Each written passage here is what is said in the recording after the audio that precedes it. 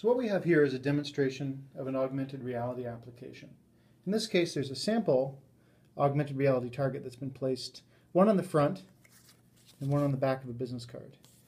When we place this business card in view of the augmented reality app, we see one of two different uh, experiences are rendered. On the back side is actually a video. So when we click play, courseware, Analog Electronics 101. that video is playing. transistors. In this When we flip to the other side, transistor is a we actually see a breadboard is rendered. And this is actually an interactive experience. So when the student clicks next, we can see that the circuit that they're attempting to build or to verify is being built step by step. Even to the point where at the very end the, LED lights up. Can go one step further and they get a drag me button. So they can actually interact with this circuit, make it succeed or fail.